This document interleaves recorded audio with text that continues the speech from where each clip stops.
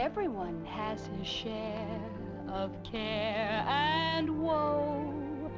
Even in Lover's Lane, there's rain and snow. We all have to pay the piper, so why be a gloomy griper? Forget regret, don't let it get you low. No, let the worry bird worry for you. What? Let the worry bird fuss and stew.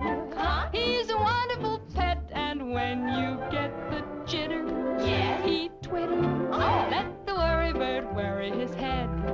Have the time of your life instead. What's a tumble or two as long as you can keep well, sleep well. Every cloud is silver lined. Bear that in mind. When old man trouble gets tough and the going gets rough, let the worry bird worry for you. It's remarkable what he'll do. He'll consider it fun to be your understudy. So, buddy, why should you be blue? Let the worry bird sing the blues.